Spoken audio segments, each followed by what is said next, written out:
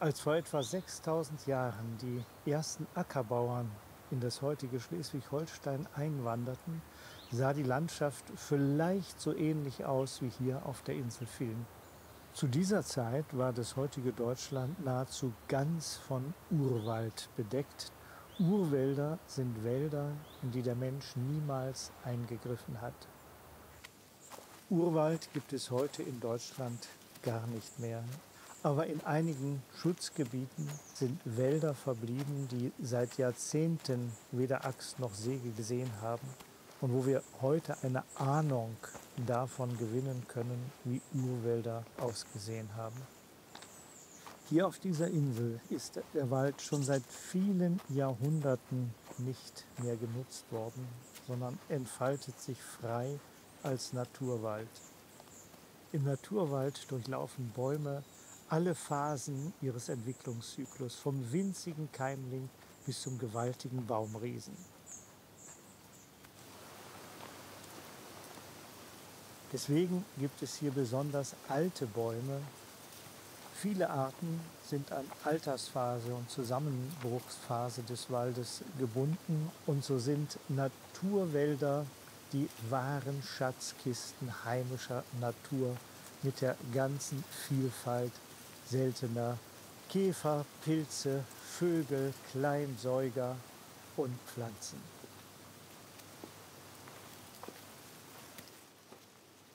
Wenn ein alter Baum an die Grenze seines Lebens kommt, langsam abstirbt, vermodert das Holz zu Humus des Waldes.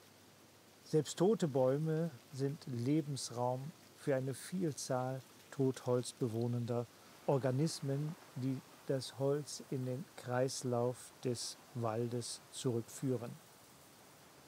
Dies kann man in einem gewöhnlichen Wirtschaftswald nicht beobachten, weil Bäume hier im Alter von 90 oder höchstens 160 Jahren umgesägt werden.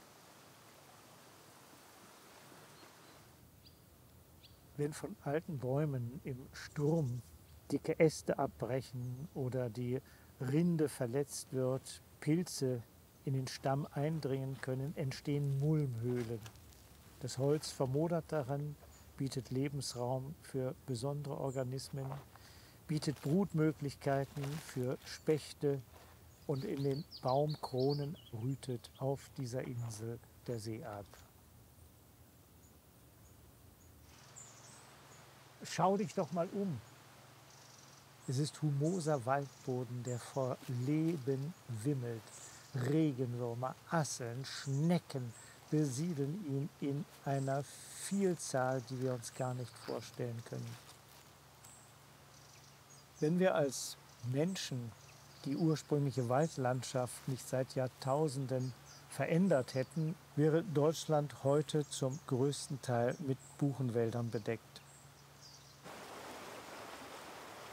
So, und jetzt schau, wie es im alten Buchenwald des Nationalparks Hainich aussieht.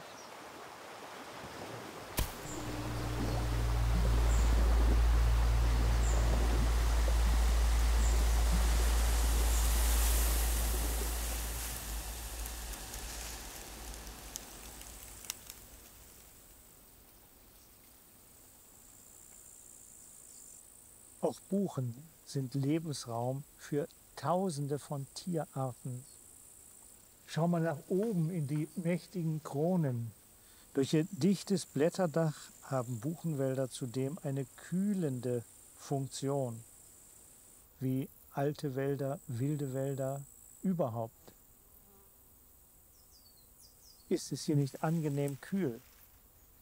In einem schattigen alten Buchenwald ist die Temperatur um bis zu 10 Grad niedriger als im offenen Umland.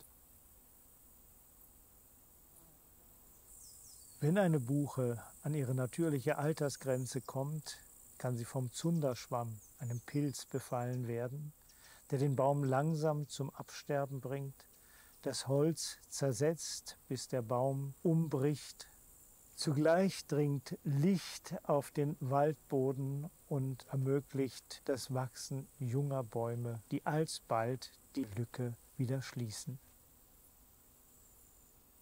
So ist alles in einem Naturwald ein aufeinander abgestimmtes System. In einem Naturwald gibt es keine Katastrophen, es gibt nur natürliche Prozesse. Mit der Photosynthese in den grünen Blättern wird Sauerstoff produziert, Kohlenstoff gespeichert und letztendlich das Klima stabilisiert.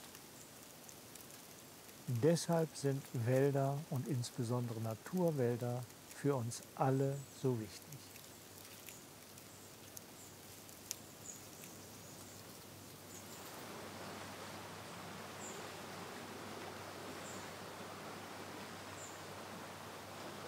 Wenn wir uns auf einen Naturwald einlassen, erfahren und erleben wir, wie faszinierend und großartig wilde Natur ist, ganz ohne uns.